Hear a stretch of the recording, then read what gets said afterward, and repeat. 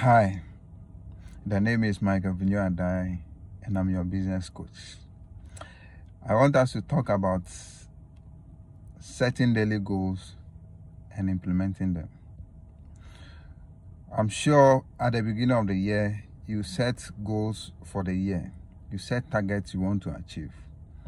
Now, you need to take those goals every day and break them down into smaller units that you can implement on daily basis. So maybe the beginning of the day you have your to-do list or you have a notebook you have a diary.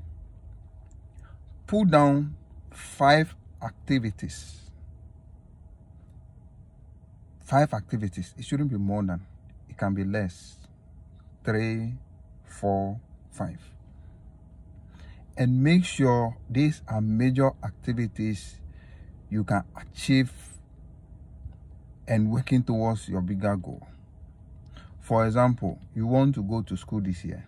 What do you do? You can put on your list today. I'm going to go through list of schools and the courses they offer. Then you select one that you are interested in or one that align with your career from there, what do you do? Look at the requirements. Acquire a form. If it's an online form, start filling it. These are three different activities you've done in a day. And if you're able to do this successfully, you are working towards starting education or to further your education. You want to improve on your bookkeeping in your business. What do you do? You you can't just start and then master it overnight.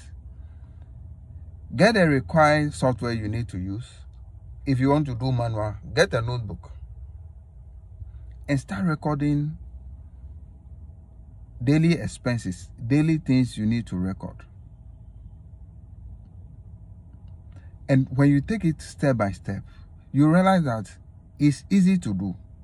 But if you lump them together and you just think that you get up one day and you work at it and achieve it, it's almost impossible.